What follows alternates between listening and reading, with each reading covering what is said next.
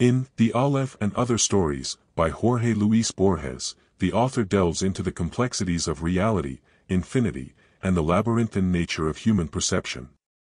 The collection is a profound exploration of philosophical and metaphysical themes, conveyed through Borges's distinctive blend of narrative, reflection, and paradox. The Aleph is one of the standout stories in this collection, where Borges combines the surreal with the metaphysical.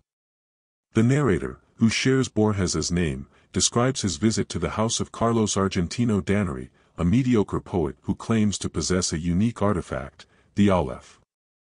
This Aleph is a point in space that contains all other points, enabling one to see the entirety of the universe from every possible angle simultaneously. The story grapples with the concept of infinity and the limitations of human understanding. Borges's use of the Aleph serves as a metaphor for the ungraspable totality of existence, suggesting that true comprehension of the infinite is beyond human capability. The narrative's climax, where the narrator gazes into the Aleph, evokes a mixture of awe and terror, illustrating the sublime nature of encountering the infinite.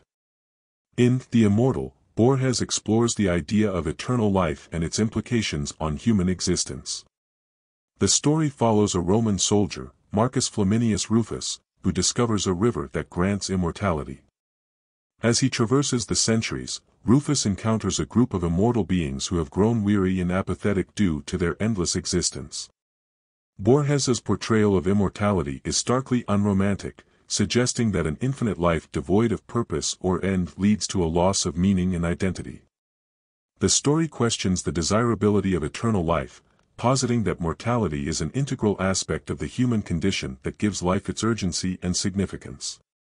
The Zahir centers on an ordinary coin that becomes an object of obsession for the narrator. This coin, the Zahir, has the peculiar property of gradually consuming the thoughts of anyone who comes into contact with it, eventually driving them to madness. Borges uses the Zahir as a symbol of the inescapable fixation that certain ideas or objects can impose on the human mind.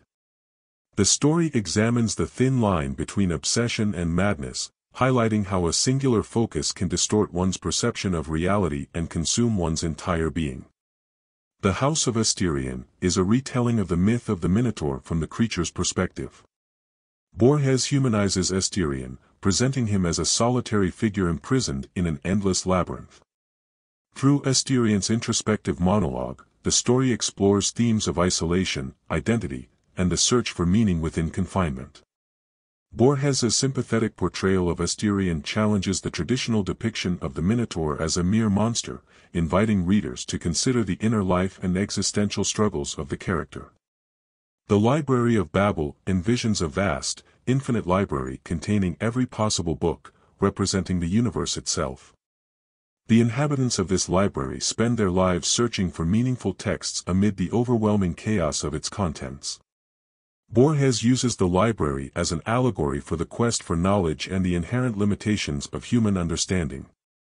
The story reflects on the nature of infinity, the search for meaning, and the existential despair that arises from confronting an incomprehensible universe. Throughout The Aleph and Other Stories, Borges masterfully weaves intricate narratives that challenge readers to contemplate profound philosophical questions. His stories are rich with metaphors and symbols, inviting multiple interpretations and rewarding careful, repeated readings. Borges's fascination with infinity, the labyrinthine structure of reality, and the limits of human comprehension permeates the collection, making it a profound and thought-provoking work. The interplay between the real and the fantastical in Borges's stories creates a unique literary experience that continues to captivate and inspire readers.